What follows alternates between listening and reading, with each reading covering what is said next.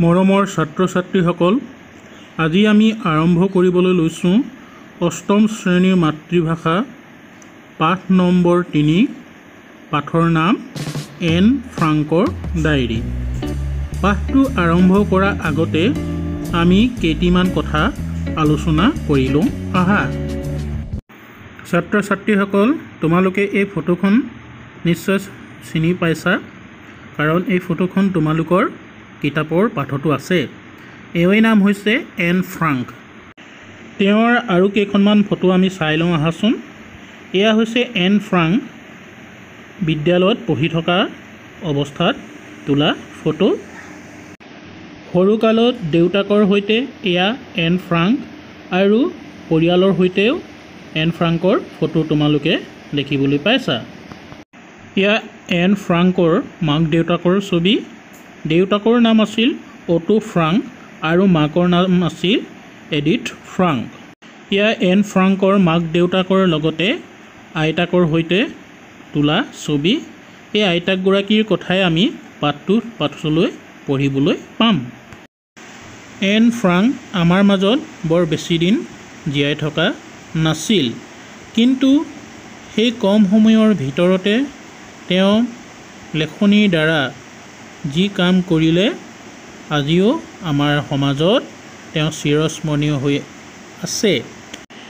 N ফ্ৰাংকে কি লিখিছিল তোমালোকে নিশ্চয় গম পাইছাই তেওঁ তেৰ বছৰ বয়সতে নিজৰ জীৱনক লৈ কিছুমান কথা ডায়েৰী পাতত লিপিবদ্ধ কৰি থৈ গৈছিল আৰু সেই ডায়েৰীখনেই তেওঁৰ জীৱনৰ লগতে সেই সময়ত সমগ্ৰ বিশ্ব তথা তৎকালীন পৰিৱেশৰ সাময়িক ঘটনাৰাজিক জীৱন্ত দলিল ৰূপত ৰূপৰেখা প্ৰদান কৰি থৈ গৈছে তেওঁ লিখা সেই ডায়েৰীখনত।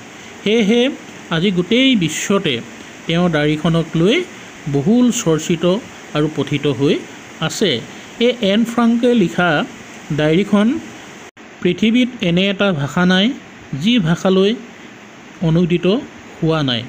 গতিকে ইয়াৰ পৰাই অনুমান কৰিব পাৰি যে এন ফ্ৰাংকৰ ডায়েৰীখন কেৱল ব্যক্তিৰ জীৱনক লৈ লিখা ডায়েৰী নহয় ই বহন কৰি আছে সেই সময়ৰ তৎকালীন সমাজ ৰাজনৈতিক আৰু সামৰিক ব্যৱস্থাৰ এক জীৱন্ত দলিল ৰূপত।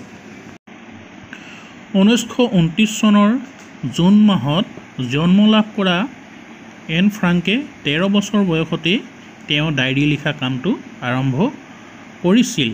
তেওঁ জন্মসূত্ৰে আছিল ইহুদী।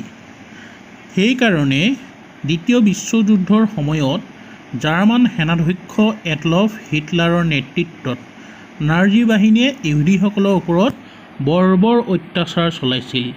লাখ লাখ ইহুদীক তেওঁলোকৰ সেনাই হত্যা কৰিছিল নৃশংসভাৱে হত্যা কৰিছিল। সেই সময়ত এন ফ্ৰাংকৰ দেউতাক অটো ফ্ৰাংকে পৰিয়ালসহ হলেণ্ডত বাস কৰিছিল। নাজী বাহিনীৰ পৰা নিজকে ৰক্ষা কৰিবলৈ তেওঁলোকে দুবছৰ কাল এইটো পণ্যগাৰত আত্মগোপন কৰি আছিল। শেষত তেওঁলোকে নাজী বাহিনীৰ হাতত ধৰা পৰে আৰু অনাহাৰ অনিদ্ৰা অস্বাস্থ্যকৰ পৰিৱেশত মাক বায়েক আৰু এনৰ এদিন মৃত্যু হৈছিল। একমাত্ৰ দেউতাকে নাজী বাহিনীৰ কবলৰ পৰা জীৱিত ৰূপত বাচি আহিছিল। যুদ্ধ শাম কটাৰ পাছত তেখেতে জীয়েকৰ সেই দিনলেখাখন পৰিত্যক্ত অৱস্থাত উদ্ধাৰ কৰে আৰু সম্পাদনা কৰি পুথি আকাৰে প্ৰকাশ কৰে। এইখন হ'ল এন ফ্ৰাংকৰ প্ৰথম প্ৰকাশিত ডায়েৰীখন। এয়া হ'ল এন ফ্ৰাংকৰ হাতৰ আখৰ। মৰমৰ ছাত্ৰ ছাত্ৰীসকল তোমালোকে ইতিমধ্যে এন ফ্ৰাংকৰ বিষয়ে কিছু কথা জানিব পাৰিলা। এতিয়া আমি পাঠটোত থকা কথাখিনিলৈ যাম।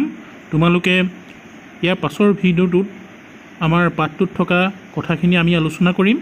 আশা কৰিছোঁ তোমালোকে পাছৰ ভিডিঅ'টো চাবা আৰু যিখিনি গুৰুত্বপূৰ্ণ কথা সেইখিনি তোমালোকে লিখি ল'বা। আজিলৈ আহোঁ। ধন্যবাদ।